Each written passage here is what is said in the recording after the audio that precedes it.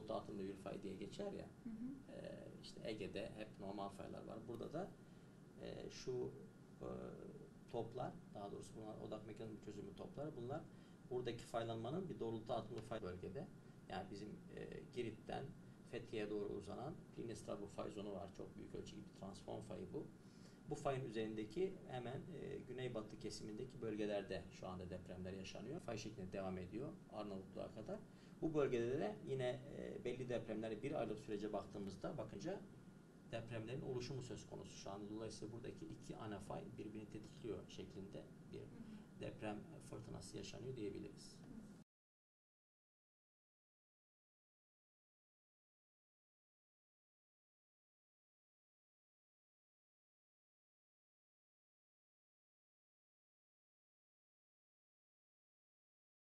Bu bölgede e, Helenik dalma batma zonu var ve Plinlistrabo fayı diye bir fay var. İki tane büyük ölçekli bir fay.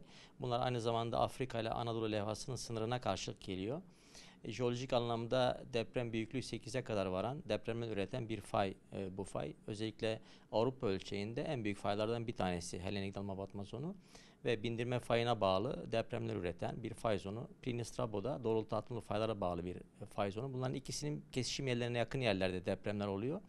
Bir çeşit deprem fırtınası yaşanıyor diyebiliriz bu bölgede. Tabii bu bölgede dediğim gibi 8'e varan depremler olmuş geçmişte. Ama şu anda olan depremler 5 civarındaki depremler tabii Türkiye için herhangi bir te- tehlike oluşturmuyor. Yani özellikle bu tür e, faylarda, Türkiye'nin güneyindeki denizin altındaki faylarda 7'nin üzerinde deprem olduğunda Türkiye'nin tsunami tehlikesi yaşaması söz konusu oluyor. Geçmişte bunlar olmuş. Ama şu anki 5 büyüklüğündeki depremler bu tür bir tehlikeye e, maruz bırakmayacak Türkiye'yi.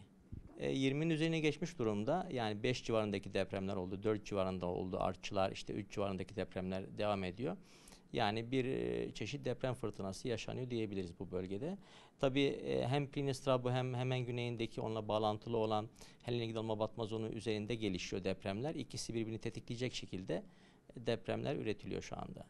Bunları söylemek çok güç o tür şeyleri. Yani bu fay geçmişte 8'e varan mega deprem dediğimiz depremleri üretmiş olan bir fay. Ee, bunun tarihsel dönem depremlerinde üç- 300 yıllarda işte 1600'lü 1800'lü yıllarda yıkıcı depremler üretmiş e, bir fay ve bizim e, bölgemizde özellikle Antalya taraflarında Fethiye taraflarında tsunami'ye neden olmuş bir e, deprem silsilesi yaratmış geçmişte.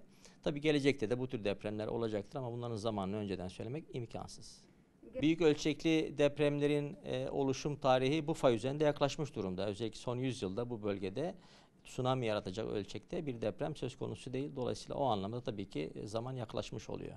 Varan 8 büyüklüğüne varan e, depremler olmuş bu bölgede ve özellikle Antalya taraflarında, e, Fethiye taraflarında yani bizim Türkiye'nin güneybatı kıyılarında tsunami neden olmuş ve can ve mal kaybı yaşanmış. Tabii bunun için e, tsunami erken izleme sistemlerinin kurulması gerekiyor. Özellikle bu bölgelerde bizim batı ve güney kıyılarımızda özellikle Marmara Denizi'nde de aynı şekilde hem deprem tehlike analizi anlamında tsunami tehlikesine yönelik çalışmaların yapılması gerekiyor. Yani herhangi bir e, fay denizdeki herhangi bir fay deprem ürettiğinde, yediğin üzerinde deprem ürettiğinde hangi bölgelerde e, su baskınları yaşanacak, hangi bölgelerde tsunami belli bir dalga boyutuna erişecek bunların önceden modellenmesi gerekiyor. Bu tür çalışmaların Türkiye ölçeğinde yapılmasında fayda var. Hocam Yok bunlar tamamen Helenik Dama batma zonu ile ilgili e, depremler. E, İstanbul'dan uzak ama bü- büyük ölçekte düşündüğümüzde e, Türkiye çevresindeki ana kırıklardan bir tanesi. Yani Helenik dalma batma zonu bir şekilde deprem üretmeye başladığında ve bir şekilde hareketiyle ilgili bir e, belli bir hareket oluştuğunda bizim işte Doğu Anadolu fayı ve Kuzey Anadolu fayının buna kırılarak yanıt vermesi gerekiyor. Bu anlamda e, büyük ölçekli düşündüğümüzde bu şekilde bir tetikleme gerçekleşebilir.